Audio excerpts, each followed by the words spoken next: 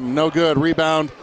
McNeal. Jerel takes it to the cutter. Koshwal up strong. Scores. It's a one point game. La- layup at five. Dances off the iron, and Koshwal brings it down. Jam with a chance to regain the lead. In the lane, McNeal pushing scores. Just floated through. Nobody picked him up, and he pushed it. Bannerman ball knocked free by Major. Here comes Bakersfield. Brown running the lane, lays it in. It does not take this Bakersfield team long to turn it. Turn And that's where the Stampede actually needed to be allowed to be a little rougher because the foul trouble on Jack Cooley is a critical factor in the productivity of the Stampede. Bakersfield with the ball, four point lead.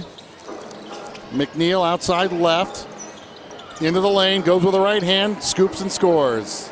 Great job again, getting to the rim. Prather lost the ball. Beneman can't corral it.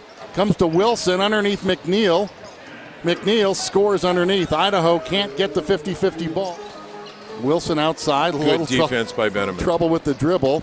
McNeal with 10 on the shot clock launches the jumper and buries. They call it a triple. It sure looked like his foot was on the line. That ties it at 60. Warner, floor must be wet over there again. Wiggins flies at the rim. 20 Look out. for Nick. Back the other way. McNeal with the left hand beat everybody down the floor.